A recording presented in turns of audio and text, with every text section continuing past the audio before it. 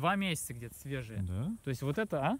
Два месяца, думаешь? Ну, по крайней мере, вот у меня, я говорю, за две недели дрова вот так. За две недели. Трава. Да, вот так растет. Да. А здесь, смотри, вот, пусто. Здесь другой эффект. Это что значит? Это значит, что свежевскопанное было.